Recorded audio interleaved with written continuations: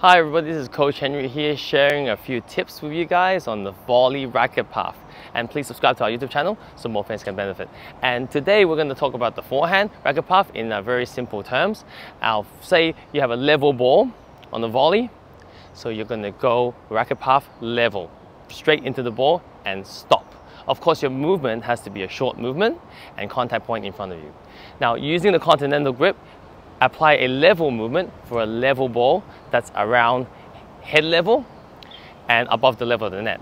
Now, if the ball is higher than your head level, you can apply a racket path that's downward on the forehand volley.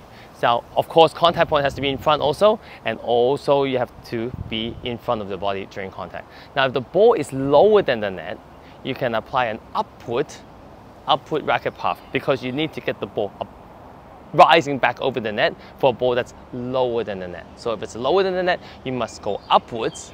If it's level, go level. If it's higher than your head, go downwards on the ball, approximately. So you want to apply this to your volleys through practice. And in our lessons, we do a lot of feeding and rallying with our students so that they understand what degree of downwards, level, and upwards on the forehand volley so that they get used to the shots and advance to level, higher level volley techniques. So we look forward to hearing from you guys and hope this tip helps you guys. And we look forward to hearing from you guys where we help you guys in private lessons and to take your volleys and all the other strokes in the game to higher levels.